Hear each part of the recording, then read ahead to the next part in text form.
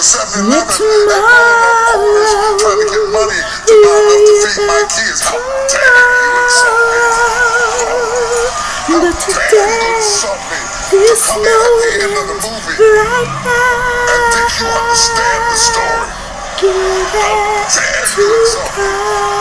I am living in my tomorrow. Let living in my tomorrow. And my yesterday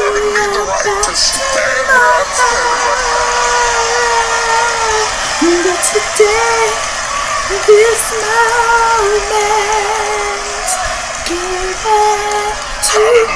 God. I know what I'm talking about. Let belongs to God. tomorrow And if God decides to bless you, no devil, no witch, no hex, no spell, no mistake, no failure, no sin, no shortcoming, nothing can stop this. God